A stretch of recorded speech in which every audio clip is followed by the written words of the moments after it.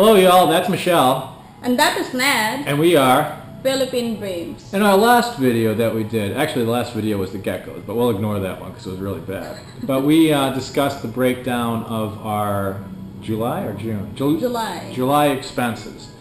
Um, and we got a few comments asking how much money, well, what they said was, we know it's not polite to ask, but how much money are you sending to her family?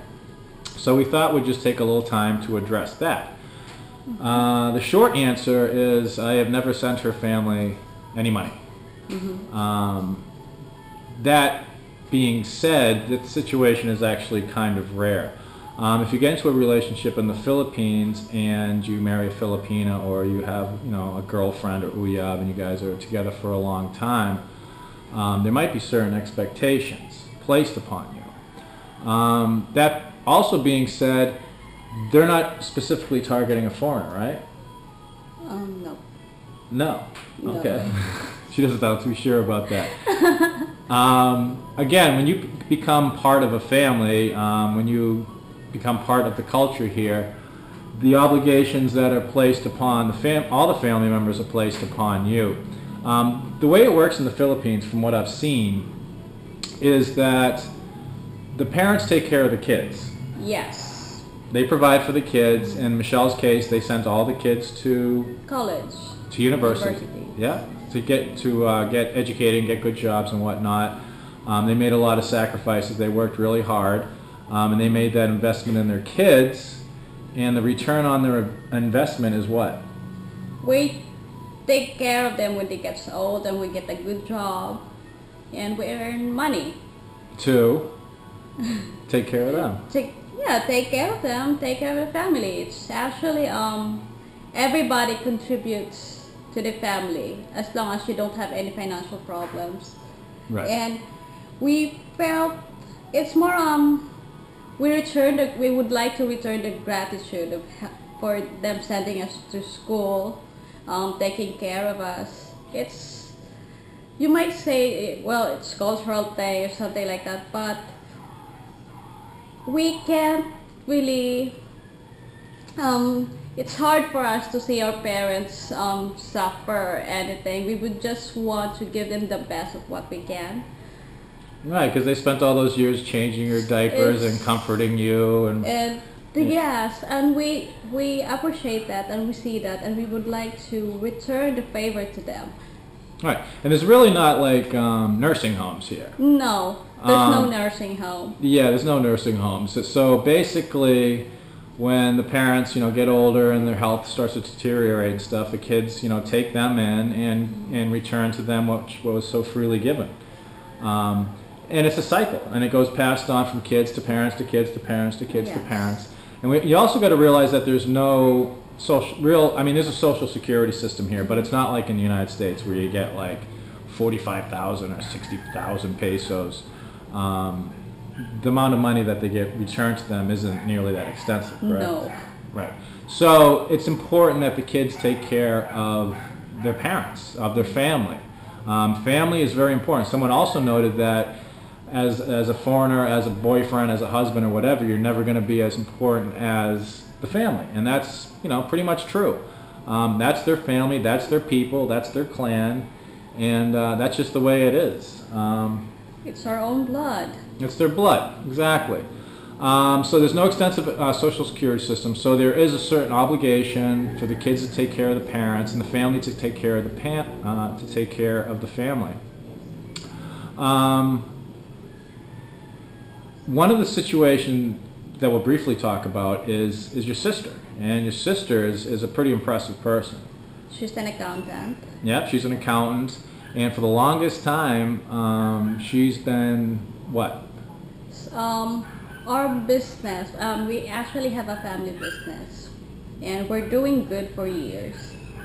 I remember I, I was, um, I was doing well in college back in back when I was still studying in Ligan, and but then some years ago the business went down because of lots of factors like we have fish farm and the water pollution, change in climate, all that stuff. That was plus some betrayals from some of our workers, and the business started started to go down.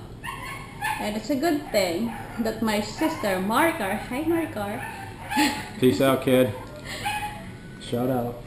she's really intelligent, she's smart, she's an accountant, and she got a good job for herself. And she's helping the family.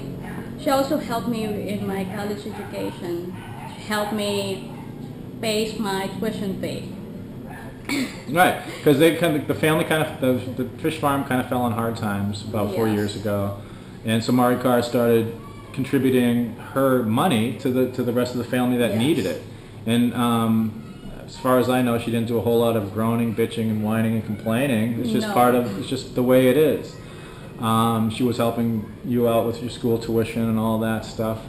Um, and it's pretty impressive and that's just the way it works. And now that michelle is working she that's her own money and she can do with her money whatever she wants. And she's helping out your brother's finishing up maritime college. So and they took away his scholarship for whatever political reason that was. So michelle's helping him and Mar- Maricar continues to help him.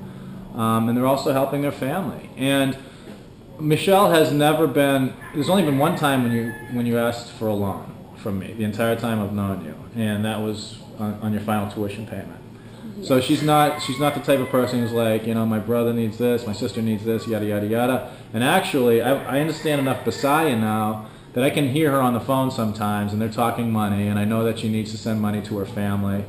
And Michelle kicks in for she contributes kicks in slang she contributes to rent and food and utilities and she you know her, she's paying for a motorcycle and all that stuff. Um, so when, I actually can overhear these conversations sometimes so I'll be like hey listen I know your family needs some money so don't worry about helping out with food this month or the rent or whatever. Um, but she's still she's part of this of our relationship and you know and and she's helping out. Um, so, uh, but if you're typically, if the person that you're in a relationship with isn't working, you are gonna be there's gonna be an onus of responsibility if it's a heavy relationship, a long-term relationship, that you um, that you contribute something. That you know that's just the way it is. You're now part of the family. You're part of the cycle. But you got to look on the flip side. If you're here a very long time, like a very long time, you know they're going to be the people taking care of you. When you're in your you know in your dotage and stumbling around and whatnot um, and, and instead of being put away in some nursing home somewhere you're going to be on somebody's farm or you know the kids taking care of you. So i hope that answers your question um, or your inquiries. Oh the breeze is finally kicking up. It was like 93 today. It was brutal.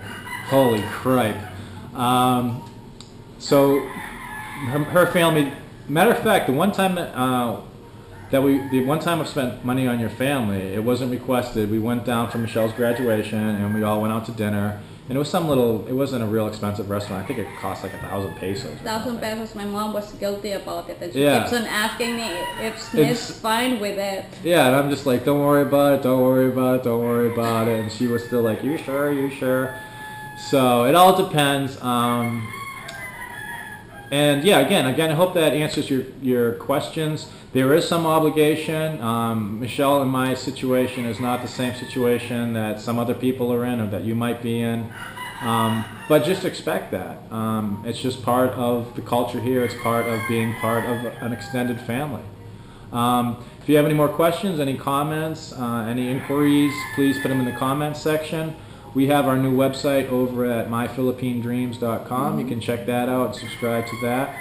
Um, you can also subscribe to the channel and get updates as they go along, and I'll, I'll try not to send you too many gecko updates or, or bonus turtle footage. But I did get more turtle footage today. Uh, ah, that breeze is so nice. So in parting, I say this is Ned, And this is Michelle. and we are Philippine Dreams, and we'll see you next time. Peace.